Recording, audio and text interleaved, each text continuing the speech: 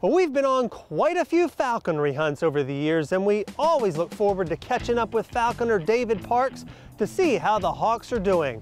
But this time, the birds are going to a new location to hopefully perform for some very special guests. Today, the Hawks are going to be on the hunt at Patriot Point in Church Creek, Maryland. It's a hunting and fishing retreat that is dedicated to veterans recreation.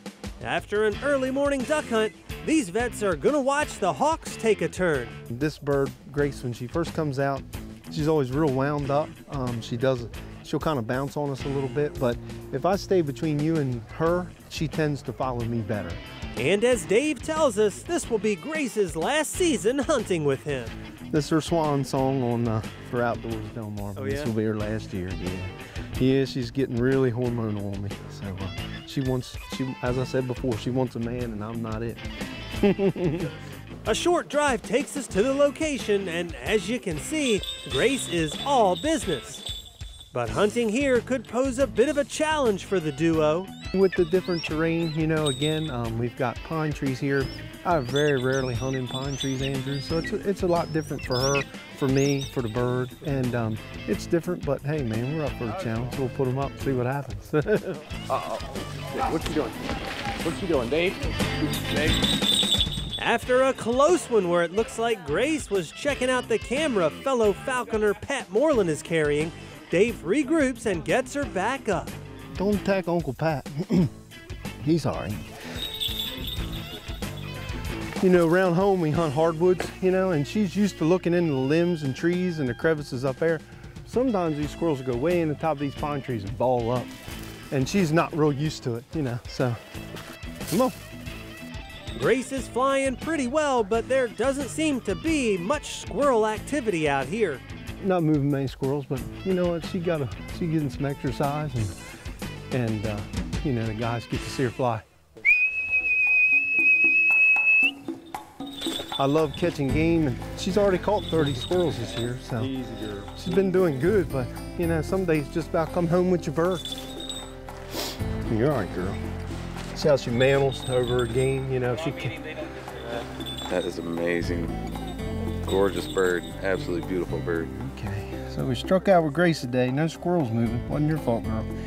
But we got to see her fly, and the guys got a nice little walk in the woods, and and uh, got to see a red tail out enjoy itself in the in the sun and the pine trees. Huh? Now that Grace is masked up and cooled off with a drink of water, it's time for part two of the falconry hunt. No, those aren't velociraptors. That's just a pair of Harris hawks, and they're obviously ready to get to work. Yeah, she's got a mouth. But it usually stops as soon as we start hunting. Sting is his name, yeah. The noisemaker over there, Patrick will introduce her. But they're like cousins, right? yeah, this is uh, Nina. She's only two years old. Because there doesn't appear to be many rabbits, they've decided to release a few pheasants in the brush. Oh, they're on him. As you might be able to tell, all these birds are pretty fast, and they fly off a good distance to try and catch that pheasant. Oh yeah, Sting got it. All right, come on over here. My dad, my dad's bird is a very little. He's a sneaky little guy. He won't let it go. There we go. Oh, what he probably did was he, they flew it down. They got tired and it was running on the ground. He just took a shot at it on the ground. Come on. Uh, Sting's up there? No, he's on the ground. Oh!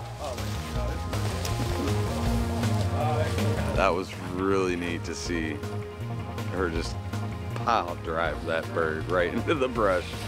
Oh!